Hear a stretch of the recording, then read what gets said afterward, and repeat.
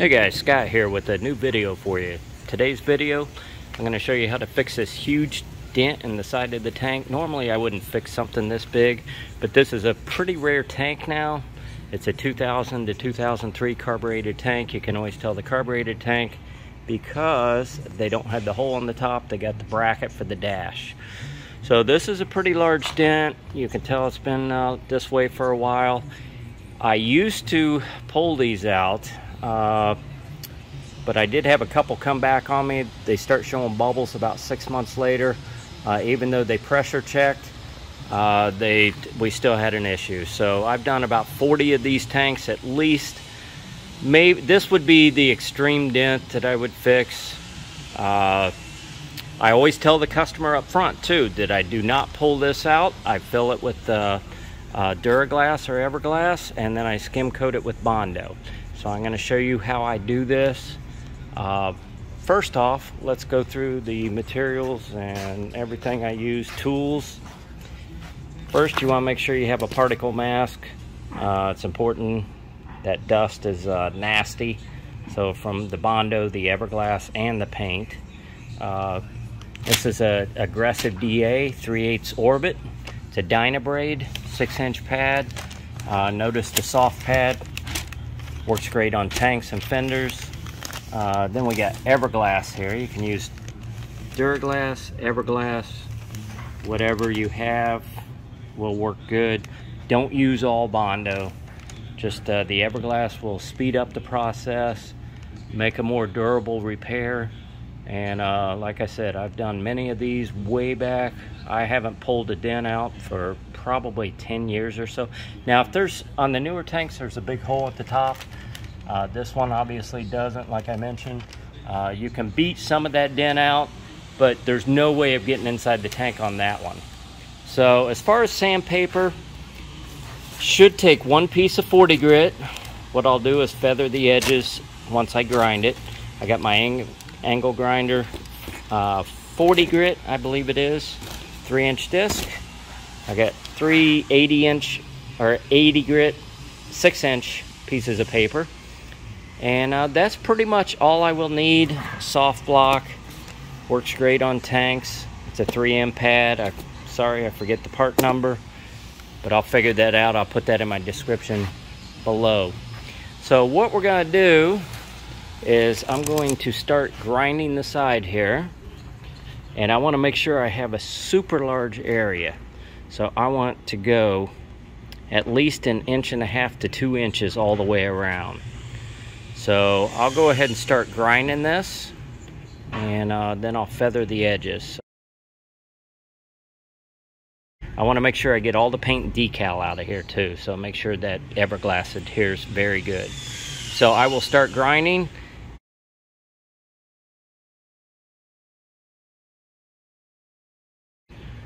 So till then. Okay, I got this all ground down. Obviously, I did lar uh, larger area than the inch and a half I told you about. Uh, there's a couple dents back here, so I just connected the two areas and pretty much stripped the side. If you watch my video on how to strip a roof, if you got the, uh, uh the buffers converted to a stripper, that works good too. If you're gonna strip the whole tank, you could do it that way, even doing the side. Or if you got a five inch grinder, this is a three inch, it took me about, uh, probably about four or five minutes to do. Overall, this dent will probably take me about an hour, hour and a half tops. So what I'm gonna do now, I got my 80 grit on the DA all set. I'm gonna go around, feather this area.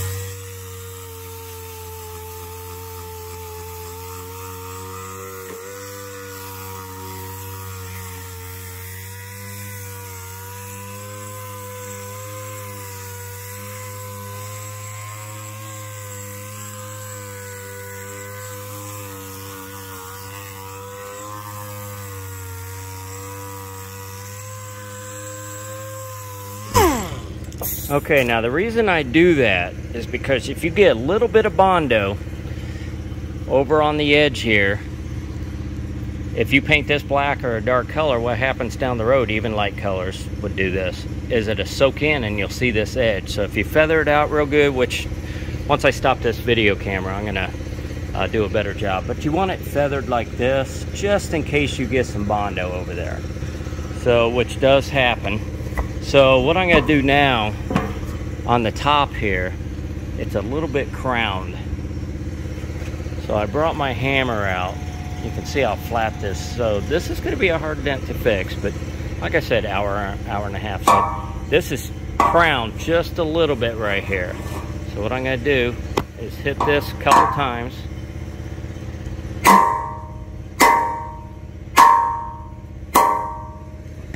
And that should take care of that. So I'm gonna feather this edge better and I'm going to Duraglass this or Everglass it.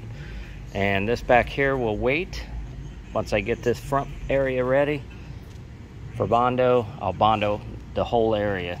These two dents back here and this bigger one. But I'll have this pretty much shaped by the time I put the Bondo on there. So I'm gonna cut off right now and when I come back I should have it smeared or I will be smearing and uh, show you how I do that. Okay, I got my Everglass all ready to stir up here. Put the hardener in there. You always want to stir, not fold it over. Try to eliminate those air pockets. So I like using a paint paddle to start with. Okay, then I'll use Bondo spreader. Stir it around. Now, on your first coat, you want to make sure, you want to try to eliminate air pockets. So you want to smear it in there. Don't build it up all at once. And you also want to try to shape this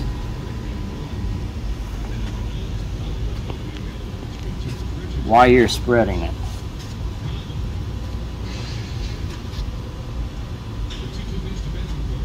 Can see how smooth it's going on.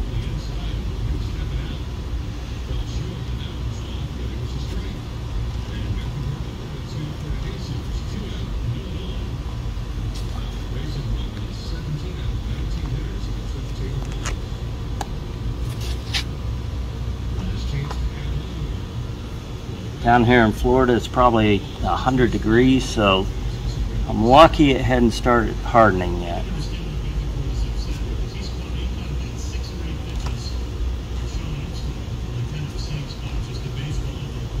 Okay, that that's a good first spread. In fact, that might just do it. So from here on out, I'll probably use Bondo. So we'll see how this works out. And I'm gonna show you a little trick. Once this hardens, I'll have the camera back zoomed in on this and I'll show you what I do after this. It really sp speeds up on repairing a big dent like this. So I appreciate you guys watching. So I'll be back soon. One thing I wanted to show you on this tank, and I've seen on Harley tanks through the years, you can see right there where the clear coat's peeling. Well, look underneath there, you can see it's glossy. So I've seen what happened, uh, Harley has done before, is if there's a flaw in the paint job, or sometimes when they put the decals on the side, which this, I believe, was a night train, probably 2003 or so, is they'll just uh, clear coat it, put the decals on, not, no sanding, and then uh, re-clear it again. So this is a bear to feather out. You can see it's kind of soft even. But yeah, it's shiny underneath there. I notice on the CVOs, sometimes they'll repaint them like six different times too. So, uh, you know, Harley quality looks good from the outside, but sometimes underneath the paint job, there's uh, you know, you can see different layers and shiny areas and stuff like that. So anyway, back to this dent. We're ready to grind away. Yes, that's the tip I'm gonna show you is I don't sand these, I grind them. So basically you wanna become a sculptor here. So what I do, I did show you the three inch grinder, but I decided to bring out the five inch. Uh, I forget what grit this is, but it's fairly coarse. Probably uh, 40 grit maybe, maybe 24. Uh, this will really chew it up versus the 3 inch. Usually I do use the 3 inch grinder, but this is a bigger spot. I, I mudded it high and big. So what I do is, like I said, that's, this, that's my tip to you, is grind this, but you gotta sculpt it. Just don't grind it and make it make it flat again you want to make it round. So what I do, I start with the, the outside edges first. I work around here, and then I, I slowly sculpt it. So keeping it round, moving the grinder so it is round. You know, you don't want a flat spot in there. You already had a flat spot. The idea is to make this round. So what I'm going to do, I'm going to cut away again. I'm going to go ahead and grind this. I'll come back. I'll show you what it looks like after I grind it. And as you can see, I'll be grinding the edges of the paint again. So I will go over with the DA once I get this done. Probably 40 grit, and then we'll Bondo it. So I'll be back soon. Probably take me about uh, probably about four or five minutes with this five inch grinder. So I'll be back soon. Okay, as you can see, I got this all ground down. It's nice and round. There's still just a little bit of a flat spot there, but the Bondo will take care of that. Uh, I ground it down. I feathered the edges again. One thing you want to do, especially with Everglass and Duraglass, want air. Hold it close. Make sure you get all air pockets out.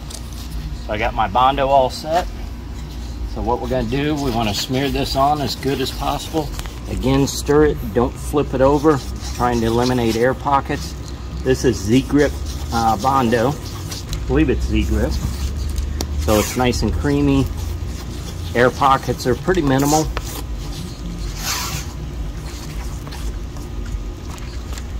Again, it's real hot out down here in Tampa area. So we want to stir it up real good first coat, smear it in there. I also got this fender over here I want to do. I'm smearing it in real good. Get those air pockets filled up in the Everglass. Build it up now. See this spot right here where it's bare metal? I'll build that up. Finesse this on.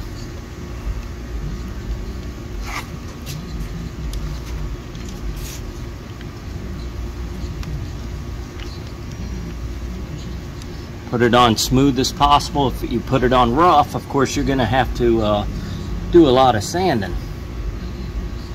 But the smoother you get it, the easier it is to work. I'm just barely pulling that through there.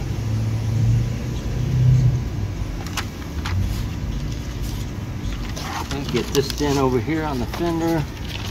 Now on the fenders, most of the time, in fact, I think every time, all the time. You, if there's a dent on there, you can beat it out from the uh, underside. Get that as good as you can. Of course, we got the dents back here. Starting to harden on me. Almost forgot these little guys. So I definitely will be smearing this one more time.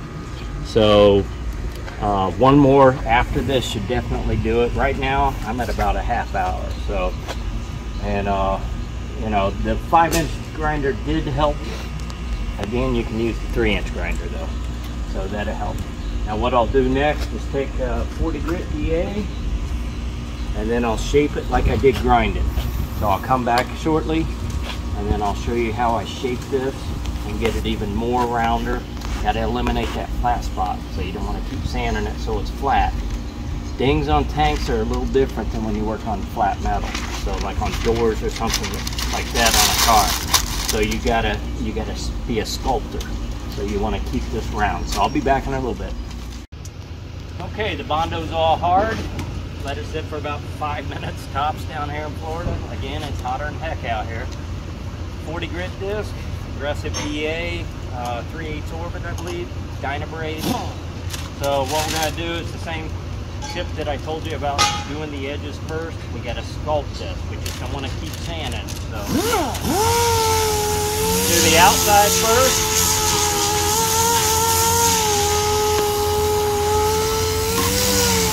Should be wearing a particle mask, but you wouldn't be able to hear me. So.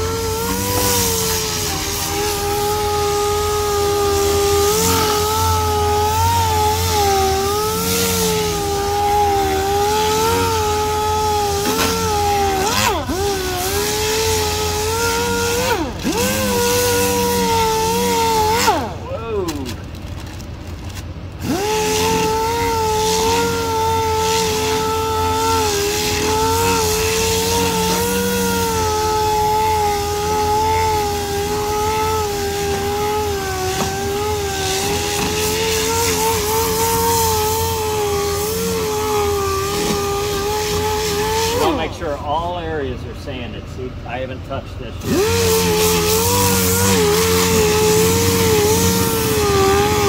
Now, if you have a finesse DA, it's just not going to work. That's, that's a big pitch, big orbit. So look it up on Dynabrade.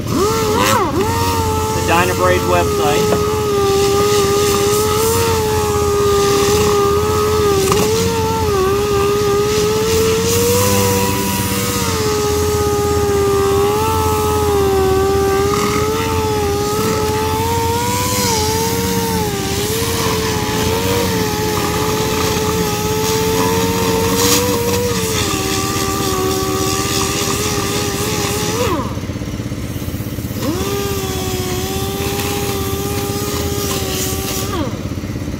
Instead of this 2x4 on my other bench, I got 4, 4x4s work a lot better than 2x4s. If you work on motorcycles, I would definitely suggest getting you some four by fours. I usually wrap them with, uh, not bubble wrap, but foam wrap. And then put some paper around there, works great. Hold up tank.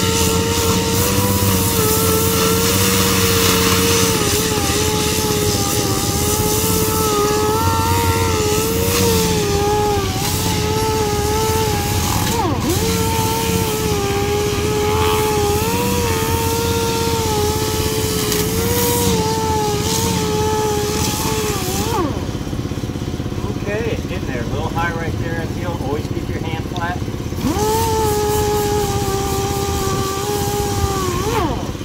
Okay, so I'm going to smear this one more time, and we'll be back in a little bit. Okay, as you can see, what I did was coat this with uh, a very thin coat of icing. Uh, it's very smooth. It's good for pinholes. I just coated. It's very easy to sand too. So basically, what I did was just uh, to do this, just to fill very minor pinholes. Very few. Again, you got to make sure you blow this off real good. The bondo, just to uh, you know visualize or see if you have any pinholes. I really didn't see too many, but I just wanted to do this. Uh, it's a good last coat just to finalize things. I start with 80 grit and then I finish this with 180 and it should be good to go. Right now it's 10 till 5. I believe I started this at 345. So of course I had one customer and I also did this rear fender. So realistically, like I said, hour and 15 minutes, hour and a half, somewhere around there. So I'm gonna sand this down real good. I'm gonna prime it, 2K prime it with my high-tech primer. Uh, and then they should be good to go. This is getting a pretty basic paint job, just all black. So it should come out real nice. You can see there's no more crown, no more dent. So I will take one more segment after this to show you uh, once it's sanded or once it's primed and uh, sanded then. So hope you enjoyed this video. Thanks for watching. It's just now 5 o'clock. I got this all set. So I got it 180'd. All pinholes gone. Everything's feathered. So I even had time to strip the decal from the other side. I still got 180 that side. I'll probably prime the whole tank here. So I'll sand it real good with 180 and prime it. So I like priming over 180 uh, versus 80 grit scratches. Um, a couple things to note is when you saw me going like a bad man earlier, uh, I do that when I have larger areas uh, with the DA. I do push hard on the DA when I have it revved that high. If I don't have it pushed hard, it's going to rev that uh, DA pretty high. So, but when I did put the icing on here, I did turn the DA down because it's more finesse. You know, I was just final sanding it, so I did have it down quite a bit lower. And also, I did take that soft block that I showed you earlier, this block here. I did, this works great around corners. This area here, you could use a soft block or a hard block if you had to. Uh, but I, it came out very nice. So I didn't have to use a hard block. So again, it helps helps you to uh, uh, the DA to sculpt this dent. That's the key when you do these dents is to remember to sculpt these. You can't just sand it like a normal panel. So hopefully this video has helped you. Uh, I may have one more segment. If not, I'll have a couple pictures to show you after primer and probably after paint too. So, uh, you know, till then, I appreciate you watching. Thank you. Okay, we're in the booth now. I just got this tank all primed. It came out real nice. Look down the side, it's nice and straight. I did prime it with about uh, probably four coats of 2K primer, the high-tech primer that I talked about that I like. I like using it, fairly inexpensive. Uh, requires a catalyst, of course, so uh, fairly inexpensive. So earlier I showed you that clear coat that was peeling away. When I sanded this, I pretty much did take all that. It was not feathering, so I pretty much had to take all that off. I 180 the complete tank. So when it came off really easy, uh, it took me about probably you know, 20 minutes, half hour. Strip all that off. So, and also, it's the next day, the following day, after I did the body work. When you have that much body work, it's a good idea to let it sit overnight, or if it's sunny out, it was towards the end of the day, so I pulled the bench in. But if it's sunny out, you can cook it out in the sun because I had so much material on there. So I wanted to let it cure before I sandwiched it underneath this primer. So it's a good idea to do that when you got a lot of, a lot of body work on there. So also I'm going to show you a little trick. So I know they sell spray can guide coat. What I do, I got a gun solely. It's an LPH 400. Doesn't matter what you use. You can use a cheapo gun for this, Harbor Freight or whatever. But uh, it's regular black, one to one. Don't over reduce it. I used to over reduce it, but I found you really don't have to do that. So anytime you got a lot of body work, you should guide coat everything. Guide coat basically lets you know when you're blocking your highs and lows. If it stays there, it's, it's a low. If it goes away real quick, of course it's a high. So what I do is turn down the trigger a little bit.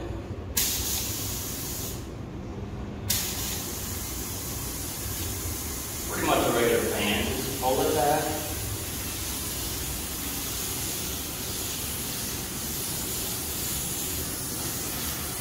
Even though there wasn't any body work on this side, I'll go ahead and guide coat.